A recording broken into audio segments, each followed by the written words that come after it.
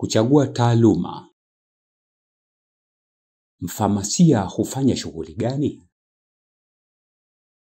Hebu tuchunguze. Pokea maelekezo ya daktari,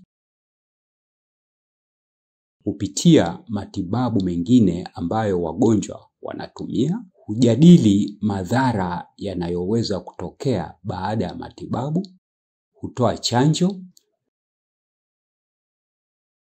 hushughulikia madai ya bima ya afya, hutoa huduma kuhusiana na dalili za ugonjwa, huhakikisha maelekezo sahihi ya dawa zinazofaa, husimamia wafanyakazi wa duka la dawa,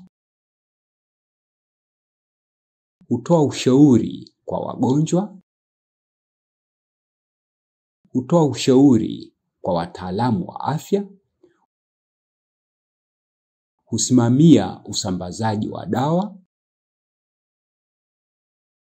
Inahitajika nini ili kuwa mfamasia? Inahitajika kuvutiwa na sayansi,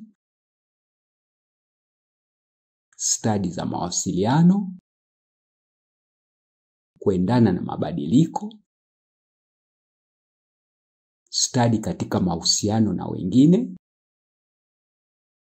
uwezo wa kufanya shughuli mbalimbali,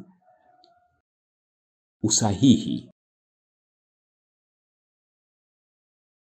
ufahamu wa ufamasia kwa kina, kupanga vipaumbele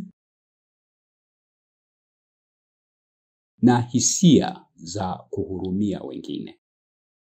Je, una stadi za kuwa mfamasia?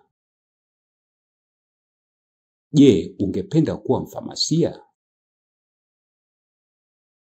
Je, unafikiri unapaswa kuwa mfamasia?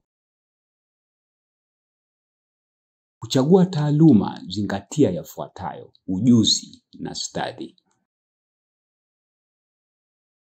hamu au kile unachopenda, kusudi au wito wako. Zingatia unachotoa na unachopata kuhusiana na taaluma fulani. Fikiria.